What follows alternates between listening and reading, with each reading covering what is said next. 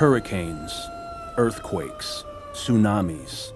How do you train militaries, governments, and organizations for the unique operations required in the aftermath of a natural disaster? DisasterSim, a web enabled game, is a simulation based training tool designed to teach personnel how the U.S. military operates as part of a broader U.S. government response to an overseas natural disaster. Through a strategy game interface, trainees assume the role of a joint task force staff and are taught how to coordinate with various key organizations and stakeholders, principally USAID's Office of Foreign Disaster Assistance, or OFDA. This is Vicky Ellerby from the Red Cross. We need transport so we can get medical care to the people right away. Why wasn't Sector C made a priority? We're not a taxi service. The nation can't do this on their own. OFDA takes the lead in overseas humanitarian assistance and disaster relief missions.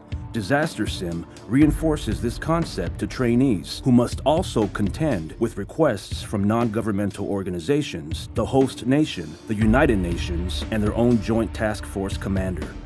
To respond to requests, the trainee uses the Mission Tasking Matrix, or MITAM, to employ a range of DoD units for missions ranging from site surveys to bridge repairs.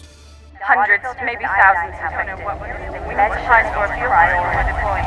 Water filters and iodine tablets this sickness spreading. It's getting scary down there. We're not. All hands on deck for this one. Through compelling gameplay, DisasterSim teaches the trainee how to deconflict competing requests for assistance and how to coordinate and communicate effectively with the various organizations outside of the traditional military chain of command. True to the nuanced realities of real world relief responses, the trainee's decisions will impact the entire operation.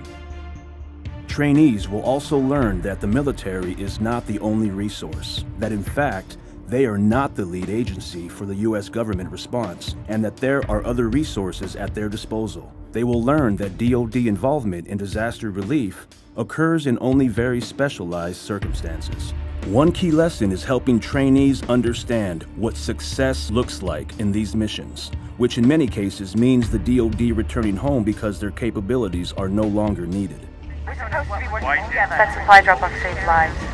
Thank you. We need an aerial recon of Good Sector work. D immediately. Let's see if our efforts paid off. Based on real world international humanitarian responses, DisasterSim uses real maps, real data, and provides real time feedback. The application suite also includes an authoring tool for creating custom scenarios and situations. Coordination, communication, MITAM management. This experience prepares disaster relief personnel for an operation that is anything but a game. DisasterSim.